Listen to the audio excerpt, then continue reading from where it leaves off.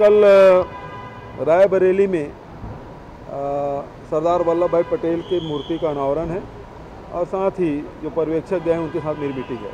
Sir आंदोलनकारी जो सहायक शिक्षक हैं उनसे आप मिले हैं और आपकी मुलाकात के बाद काफ़ी संतुष्ट हाँ उन्होंने अपना आंदोलन वापस ले लिया। कल से वो लोग स्कूल ज्वाइन करेंगे।